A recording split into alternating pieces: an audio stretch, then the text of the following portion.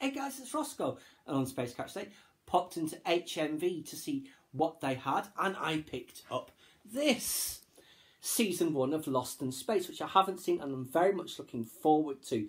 Heard good things about this show, and I do recall the trailer or two that I saw was very interesting. And this version of the robot is fascinating. And there, of course, you see Will Robinson. What's that say? Danger will find them all. And there is just the back cover. So it was twenty four ninety nine. I paid for this. So ten episodes and whatever extras that are on there. I do believe what's her name? Parker Posey is playing the Doctor Smith character in this. And I know she's been in loads of things, but the only thing I really remember her from is Blade Trinity.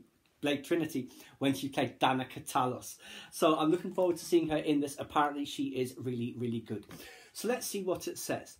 Set 30 years in the future, this epic reimagining of the original family space adventure finds the Robinsons torn off course en route to what they hoped would be a fresh start on a distant space colony. Against all odds, but with endless hope and extensive training, the family bands together to survive on a dangerous alien planet.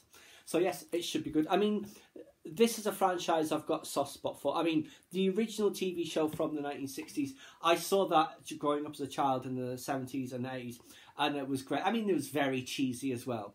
But the guy who played Dr. Smith in that is just brilliant. Um, and then there was, of course, the when was the film with um, Joey from Friends? 97, 98, whenever that was. It was all right for what it was. Um, but this does look to be very interesting. I wonder if they will get Bill Mumy in this because he is the one who played Will Robinson in the original TV show.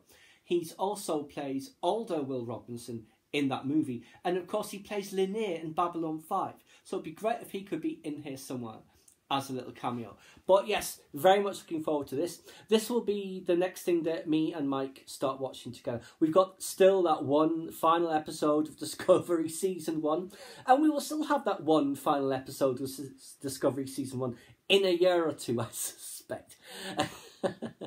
but yes, this should be very interesting. Can't wait to watch it. So, why don't you guys let me know what you think of this if you've seen it? Because I was also was hoping to pick up season three of The Expanse, and I asked them and said, "Oh, I think it's due out on Monday." That oh brilliant? But then when she checked, it's funny because the the girl who works there reminds me so much of Bobbie Draper from The Expanse. It's been pushed back to November. I assume that's to coincide with season four coming out, but bit of a bummer. But that just means I will just have to hold my horses and wait for long for that. But for now, guys, Lost in Space is next on the agenda. Please subscribe to my channel if you enjoyed this content. Leave me a comment or suggestion for upcoming topic you'd like to see discussed, or like the video.